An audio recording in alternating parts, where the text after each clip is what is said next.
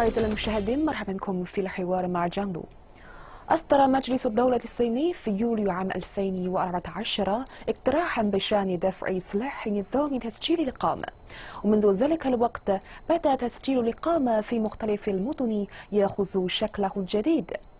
كيف نحقق تقدما جذريا في نظام تسجيل الإقامة؟ ومن التطورات التي ستجلبها هذه الخطوة الإصلاحية على مجالات توظيف ورعاية الطبية والعناية بالمسنين إلى مدى ستفتح المدن الكبرى أبوابها أمام المغتربين؟ لتسليط الضوء على هذه الأسئلة ندعو ضيفين كريمين في استوديو معنا. هما الدكتورة جانغ هونغ يي أستاذة من جامعة الدراسات الدولية ببكين. أهلا وسهلا. أهلا وسهلا. والدكتورة لو ينبو أستاذ مشارك لجامعة اللغات والثقافة ببكين أهلا وسهلا. أهلا. فنبدأ الحوار اليوم بعد متابعة تقرير التالي.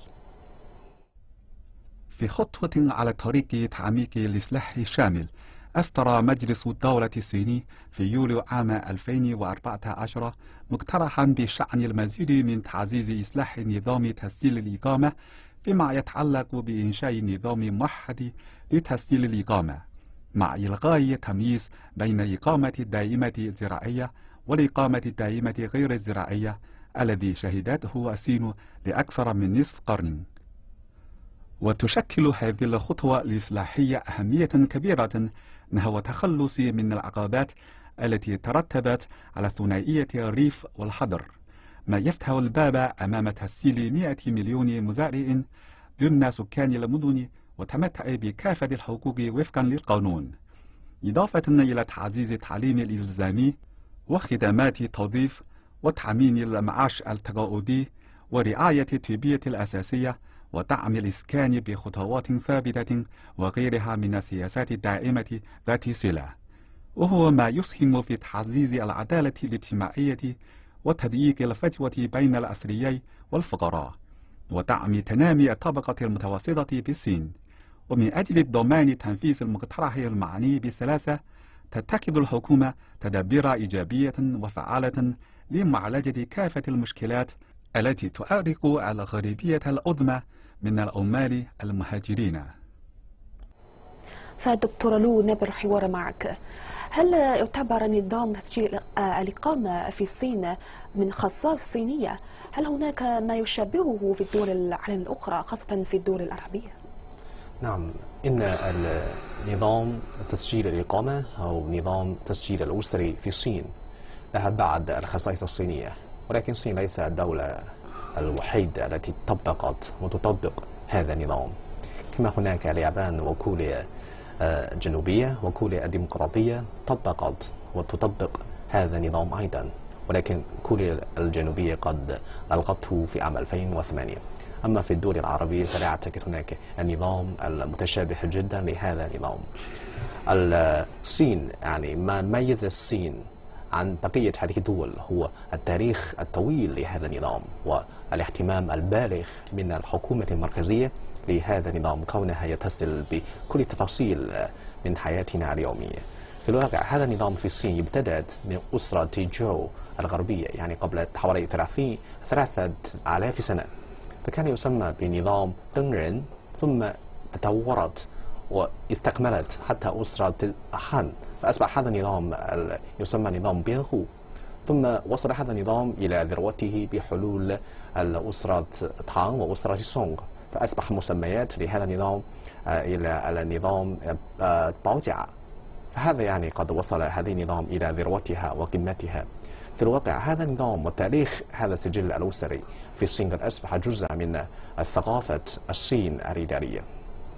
فهذا يستهدف بشكل مباشر إلى تعزيز إدارة السكان الذين يتفرقون في السكن في الأماكن المختلفة في البلاد بالإضافة إلى التوفير وتقديم الظروف المادية والموارد البشرية لتنمية البلاد. فلهذا النظام أهداف سياسية واضح لو ننظر إليها من المنظار التاريخي. وجدنا أنه يتميز بعض المزايا. الأولى هو دائما يتصل بالمواطن بالمناطق المختلفة. يعني ربط السكان بالأراضي التي ولدوا فيها. فلا يجوز لتنقل الحر لهؤلاء السكان. والثانية هو الانقسام آه، انقسام السكان الناس إلى طبقات المختلفة إلى أنواع مختلفة. طبعا حيث آه، يتضح التمييز في المعاملات بأشكال مختلفة. وثالثا هو يعني يساعد على الحفاظ على الأمن الاجتماعي. في الواقع هذا النظام يستهدف أيضا إلى مساعدة الحكومة على التعرف على مختلف الخلايا من الشبكة الاجتماعية. وبعد ولادة الصين الجديدة لقد طبقت الحكومة المركزية نظام جديد من السجلات العائلية والأسرية. ولكن بسبب تأثرها ببعض العناصر الثقافية التقليدية ما زالت تحفظ بجزء كبير من المحتويات من النظام القديم. طبعا في بعضها ال- ال- الإيجابية وبعضها سلبية جدا مثل وجود التمييز والفرق كبير جدا بين ما يعيش في المدن وما يعيش في الأرياف. وهذا يؤدي بلا شك إلى آه، يعني عدم التوازن في عملية توزيع الموارد الاجتماعية. كما قلت إن يعني نظام تسجيل الاقامه أو نقول التسجيل الاوثاري آه، له آه، تاريخ طويل في الصين. هل تعتقد أنه قد تتقد- يتقدم مع تطور الصين أم هو متأخر نسبيا آه، في يعني العصر الحديث حديث؟ هذا النظام له تاريخ طويل ويتطور آه، لكي يناسب الظروف المختلفة لكل مرحلة من مراحل التطور. آه، ولكن لو ننظر من المرحلة ال- الحاضرة نجد ما زال هناك بعض النقاط يعني غير ال- اللائقة تماما. آه، نعم. يحتاج ويتطلب الإصلاح في الوقت نعم. ال- بالدقة هذا سبب الإصلاح في هذا المجال. فدكتورة جان نعرف ما رأيك في يعني تسجيل الإقامة أو تسجيل العائلي أو الأسري في الصين الآن؟ آه، كما قالت آه، الدكتورة لو إن له هذا النظام له يعني آه، سلبيات أو إيجابيات أيضا. فما رأيك؟ نعم. في الحقيقة أن النظام المتبع منذ تأسيس الجمهورية الجديدة هو نظام ثنائية التكوين وهو منطبق على المجتمع الصيني الذي ينقسم إلى جزئين منفصلين. وهناك أر- أربعة أو ثلاثة جهات على الأقل تهمها آه، الإقامة.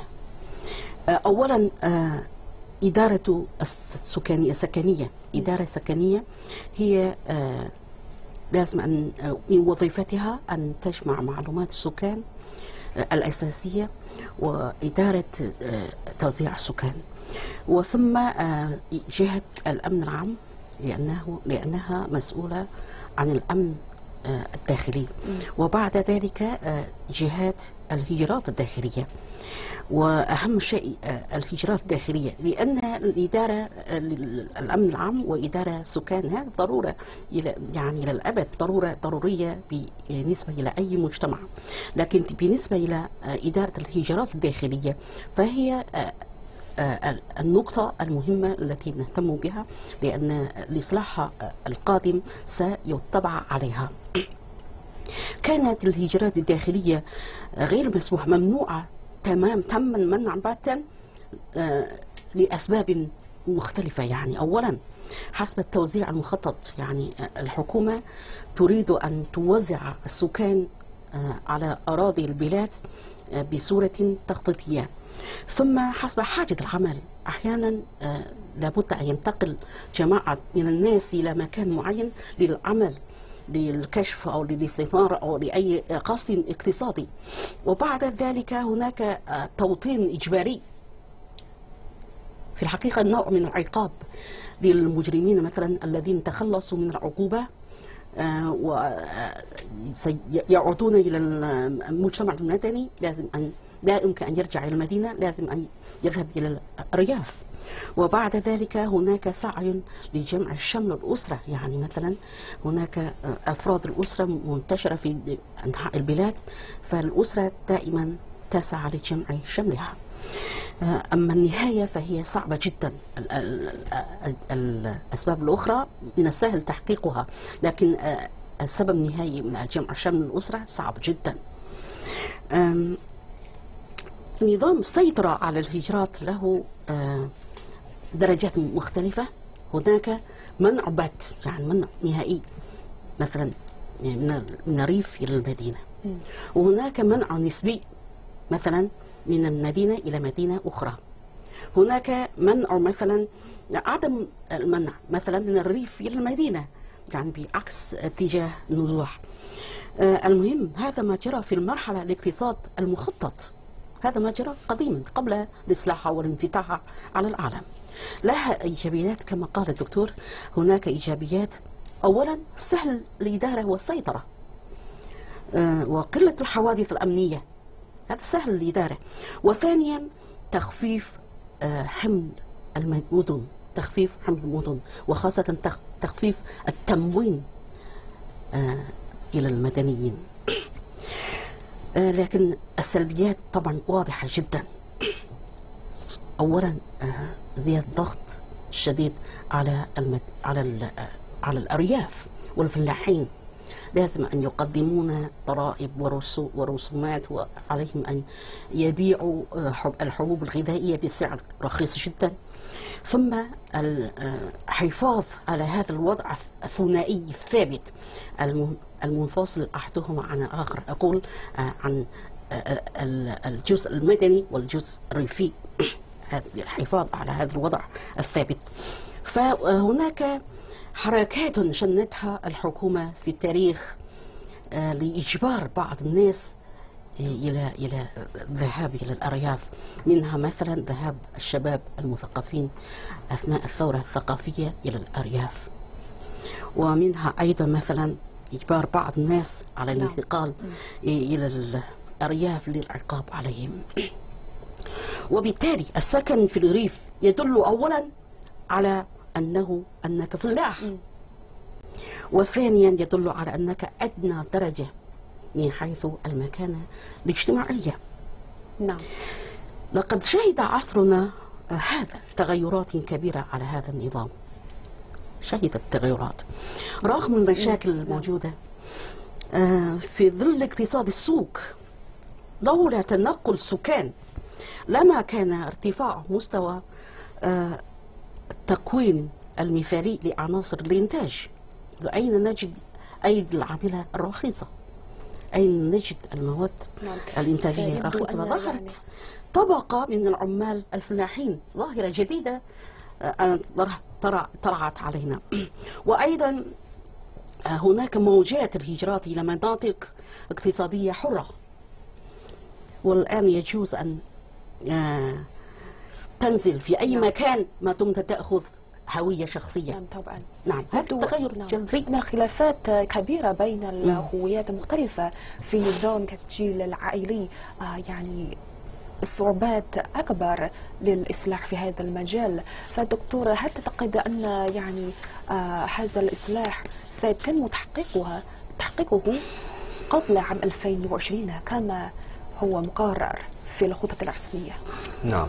من المخطط أن يتم هذا الإصلاح تنجز هذا الإصلاح خلال عام 2020 أعتقد هناك إمكانية كبيرة جدا لتحقيق أو إنجاز هذه المنجزات وتحقيق هذا الهدف ولكن قبل هذا لابد أن نعي بوجود بعض الصعوبات أو التحديات.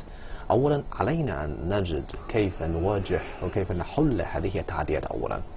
أولا آه، هو يعني منفذ والدافع الرئيسية لهذا النظام وإصلاح هذا النظام. هو الحكومة المحلية بدلا من الحكومة ال- المركزية. ولكن الحكومة المحلية دائما تتصرف للحفاظ على مصالح ال- يعني المحلية المصالح الخاصة نعم. بدلا من الانطلاق من تحقيق التوازن للأوضاع العامة فهذا طبعا يؤثر على يعني دفع هذا الإصلاح وينقصها ينقص الحكومات المحلية الدوافع الكافية لدفع هذا الإصلاح. على سبيل المثال حكومات بلدية بكين. لديها الصلاحية كبيرة لتوزيع الإقامة إلى كثير من ال- المهاجرين. ولكن معظم هذه الفرصة يقتصر على الجماعة ذات الدخل العالي وذات الكفاءة والمؤشرات التعليمية العالية. أما الأغلبية الساحقة من العمال الفلاحين المهاجرين فلا يمكنهم الاستفادة من هذه الفرص. لأنهم لا يتفق والأهداف والمصالح الجوهرية لتنمية مدينة بكين. نعم. فهذا يعني المنافذ الرئيسية ينقصهم الدوافع الرئيسية لدفع هذا ال- الإصلاح الثانية هو التكلفة العالية لهذا الإصلاح قد شكل يعني تحديا كبيرا على المستويات المختلفة من الحكومات سواء كان الحكومات المركزية أم الحكومات المحلية. وهذا طبعا يؤثر على خطوات الإصلاح أيضا. على سبيل المثال لو انضم عامل فلاح مهاجر واحد إلى سجل الأسري لمدينة كبرى فلازم يتم الدفع المسبق من الحكومة المحلية من أجله يعني للضمان في مجال الضمان الاجتماعي والخدمات العامة والضمان السكني والتربية وال يعني التحاق الأولاد إلى النظام التعليمي الإجباري وإعادة تربية المسنين إلى آخره. كل هذا قد شكل يعني عبئا كبيرا وضغوط كبير على الميزانية الحكومات المحلية. أما الجزء الأخير هو الوصول بعد المدن العملاقة قد وصل إلى نقطة تشبعي. لو آه، تقبلت مدينة سكان أكثر مما تستطيع أن تتحمله. فهذا بلا شك سيؤدي إلى ما يسمى بأمراض المدينة. المتمثلة في يعني تدهور البيئة وازدحام المواصلات مثل زيادة نسبة ارتكاب الجرائم أو مغالاة الأسعار العقارية إلى آخره. في الواقع ألآن بكين وشنغهاي وكونشو هذه مدن بالخط الأول تعاني في هذه المرحلة. لو فعلا يعني نفتح هذه المدن أبوابها للعمال الفلاحين المهاجرين. ربما هذه المدن بالضبط يعني هذه المدن بالخط الأول ستصبح يعني الدفعة الأولى من الضحايا. نعم طبعا. فشرت بأن من آه، قولكم لأن يعني الحكومات المحلية هي يعني مسؤولة يعني أكبر لدفع هذا الإصلاح. ولكن آه يعني إصلاح لنظام تسجيل العائلي ليست إصلاح فقط لهذا المجال بل إصلاحات في كما قلت الضمانات الاجتماعية يعني تحقيق العدالة والمساواة بين مختلف يعني الناس في الصين. فلنواصل المناقشة في هذا الموضوع بعد الفاصل. فاصل قصير ثم نعود إليكم. ابقوا معنا. مرحبا بكم من جديد. موضوعنا اليوم حول إصلاحات لنظام تسجيل الإقامة في الصين. فالدكتورة جانغ آه، لاحظنا أن مجلس الدولة آه، يحث آه، على إصلاح تدريجي في مجال نظام تسجيل الإقامة ويعني ترى الحكومة المحلية إلى شهادة الإقامة كخطوة أولية تليها خطوات متتالية أخرى. فكيف ستعمل شهادة الإقامة؟ الارتقاء بمعيشة 245 مواطن متناقل في الصين. أه، أرى أن هذا بداية على الأقل بداية لإصلاح نظام الإقامة.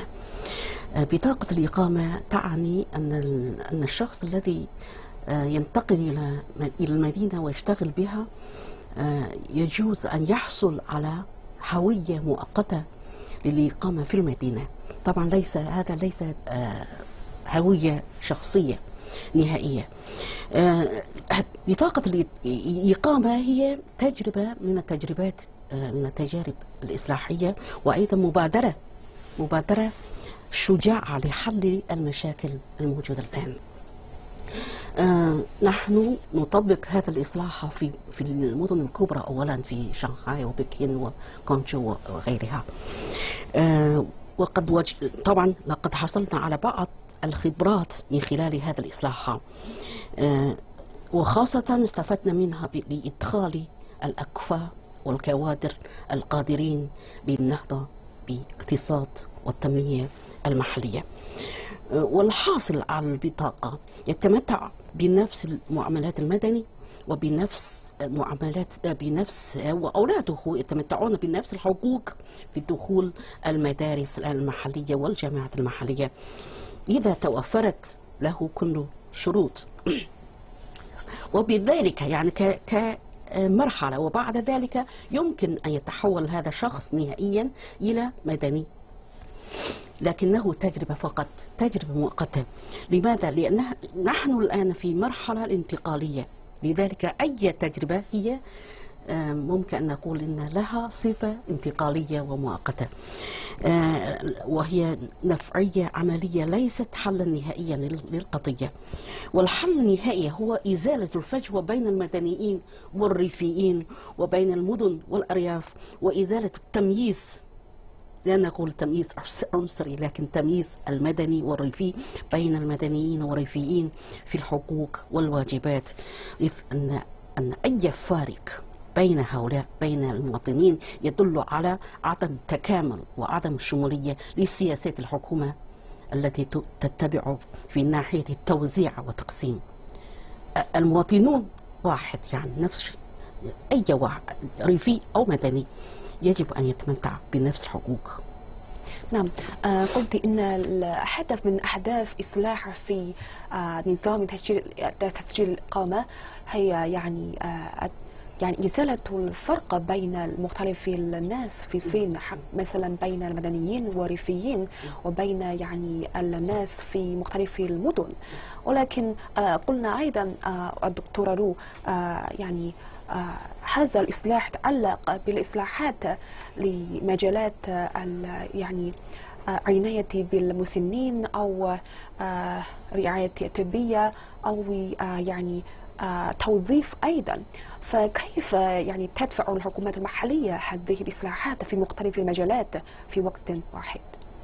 آه، أنا فعلا أنا مع دكتور جان في القول بأن أهم شيء هذا الإصلاح هو تحقيق المساواة والعدالة الاجتماعية في كل المجالات طبعا من ضمنها التوظيف وتقديم الخدمات الطبية ورعاية المسنين والأطفال إلى آخره. إن تحقيق هذا الهدف أولا يتطلب يعني التصميم القممي من الحكومة المركزية. ووضع ما يسمى بالسياسات التحفيزية للحكومات المحلية وبالإضافة إلى يعني إصدار بعض الأوامر والمطالب الواضح للحكومات المحلية وإدماج أو يعني الاندماج ووضع آه، آه، نسبة تغطية الخدمات العامة للعمال الفلاحين المهاجرين. كأهم مؤشرات لتقييم أداء الأداء الإدارية للمسؤولين المعنيين. وهذا بالإضافة إلى إقامة آلية مشتركة لتحمل النفقات أو التكلفة للعملية تمدن من قبل الحكومة المحلية والشركة والشخص هذا أولا يعني لتخفيف الضغوط المفروض على ميزانية الحكومة المحلية وثانيا هذا يوفر فرصة للشركات والمؤسسات التجارية طبعاً. لتحمل مزيد من المسؤولية آه، المسؤولية الاجتماعية. آه، على سبيل المثال يمكن للشركة أن تتحمل التكلفة لتدريب وتأهيل العمال ليساعدهم على الاندماج في الحياة في المدينة. آه، هذه الأطراف الثلاثة يواجه نفس المصالح. وتستفيد من نفس المصالح وتواجه نفس المخاطر والضغوط. يعني كي يعني يحث الخطوات عملية تمدن للعمال الفلاحين المهاجرين. وثالثا أخيرا أعتقد يمكن للحكومة المركزية أن تساعد على بعض المدن المتوسطة والصغيرة الحجم لتطور نفسها لتخفيف الضغوط المفروض على عاتق المدن العملاقة الكبرى. على سبيل المثال كلنا كلنا نعرف أن المدن الشرقية في منطقة الصحراوية تكثر فيها فرص توظيف وتعلو جودة الخدمات الع- العامة فأصبح محطة الأنظار والخيار المثالي الأول لمعظم العمال الفلاحين المهاجرين. أما المدن المتوسطة وصغيرة الحجم في المنطقة الغربية يبدو أن جاذبيتها أقل بكثير بالمقارنة مع نظيرتها الشرقية. ففي هذه الحال أعتقد الحل طويلة الأمد ولكن الحل الجوهري والأساسي هو تنمية منطقة الكبرى وتنمية هذه المدن المتوسطة وصغيرة الحجم لكي تجذب مزيد من الناس للتوطين في هذه ال- المدن لتنمية نفسها لتحقيق ال- الذات التحقيق الذات في الحياة. أعتقد هذا يعني ممكن أيضا آه، على أساس تحقيق توازن في الأوضاع من حيث يعني المدى التنمية يعني سبب رئيسي لتشكيل السلبيات في نظام تسجيل الإقامة هو الفرق كبير بين مختلف المدن أو المناطق في الصين وهذا السبب أيضا سيكون الحل ال- يعني جوهري ل يعني هذه المشكلة. نعم. نعم. فدكتورة جان آه لاحظنا أن الأكاديمية الصينية للعلوم الاجتماعية آه، أشارت إلى أن آه، يعني إصلاحات في نظام تسجيل الإقامة أو التسجيل الأسري سيكون لها آه، تأثيرات محدودة في المدن الكبرى فما أسباب لذلك؟ هذا واضح حسب تقرير الأكاديمية العلوم الاجتماعية هناك فرقا كبيرا جدا بين سياسات المدن من مدينة إلى أخرى. آه، بالنسبة إلى آه، المدن الكبرى العملاقة آه، ليس من المحتمل أن تزيل عتباتها لدخول المهاجرين بل سترفعها أكثر فأكثر. لأن هذه الجولة من الإصلاح لن تؤثر عليها كثيرا. هناك مثلا نزع الناس إلى النزوح إلى المدن الكبرى. لن تصد في هذا الوقت لأن المدن آه، وخاصة البنى التحتية لها لا تتحمل لذلك. آه، في الحقيقة هناك صورة لتحقيق الإصلاح مدن من ثلاثة ملايين إلى خمسة ملايين هي مفتوحة نسبيا ومدن من مليون إلى ثلاثة ملايين مفتوحة شبه كامل. والمدن أقل من مليون هي مفتوحة نهائيا يعني لا ممكن أي ريفي أن ينتقل إلى مثل هذه المدن الصغيرة بالمرة يعني سهل جدا. أما بالنسبة للمدن الكبرى فلها ظروفها الخاصة كما قال الدكتور أن سكانها أولا آه، ضخم العدد. نعم. وبعد ذلك آه، البنى التحتية يعني محدودة ليست آه، كبيرة جدا وليس لا تتسع لهذا العدد الضخم عن عن المستطاع فليس من المحتمل أن تقبل المدن الكبرى العملاق كبكين وشنغهاي وغوانجو أكثر من العدد الحالي بل لازم أن توزعها إلى المدن المجاورة أو من خلال بناء المدن القمرية التابعة لها. هكذا السياسات يعني لأن الإصلاح لا يتم خلال يوم وليلة. فيتساءل الناس ما المغزى لإصلاح نظام تسجيل الأسري إذا يعني تأثيراتها غير كبيرة في المدن الكبرى التي آه عدد المواطنين المتنقلين أو المحجرين في هذه المدن أكبر. فدكتور ما جوابك؟ أعتقد السعي وراء الحياة أجمل. والمستقبل أكثر إشراقا. هذا هو يعني حق شرعي لكل واحد كل مواطن في في العالم. فيجب مثل هذه الرغبة يجب أن تتلقى الاحترام لكل المجتمع.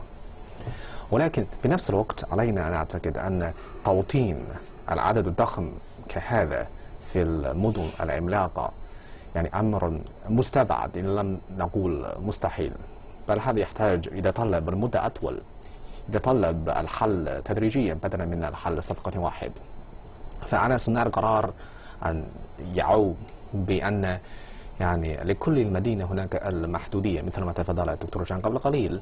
علي علينا أن ندع في اعتبارنا حجم المدن وسكان المدن والظروف المواصلات والبيئة إلى آخره في اعتبارنا. عندما نخطط عملية تمدن للعمال المهاجرين عددها ضخم جدا. وبنفس الوقت على هذه المدن أن تعمل على إيجاد الظروف الخاصة لحل هذه المشكلة يعتمد على ظروفها الخاصة الذي مختلف واحد عن الآخر. آه، فأعتقد مثل ما تفضل الدكتور جان قبل قليل بالنسبة إلى المدن الصغيرة الحجم فممكن يكون مفتوح ممكن تلغي نظام السجل السجلات الأسرية تماما ممكن يقبل كل من يريد ولديه رغبة للانتقال إليه. أما بالنسبة إلى المتوسطة